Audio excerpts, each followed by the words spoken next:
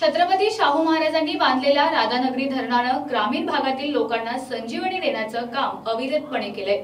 याच राधानगरी धरणात सध्या त्रेसष्ट टक्के पाणीसाठा शिल्लक आहे.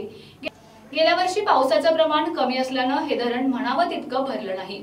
त्यामुळे यावर्षी उन्हाळ्यात पाणी टंचाईला सामोरं जावं लागणार आहे.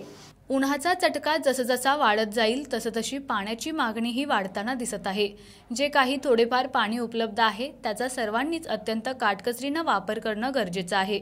मार्च ते मे या उन्हाळी हंगामात अनेक भागात तीव्र उष्ण लाटा येणार असल्याचा अंदाज हवामान विभागानं वर्तवला आहे. गेल्या वर्षातील कमी पाऊसमान आणि आता चढत असलेला उन्हाचा पारा यामुळं दुष्काळाच्या झळाही वाढत आहेत.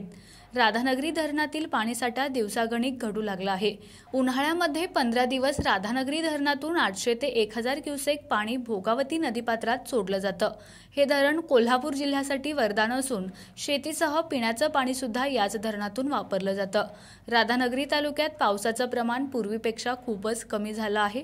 गतवर्षीप्रमाणे जर यंदाही जून महिना कोरडा गेला तर पाणी टंचाई जाणवणार आहे.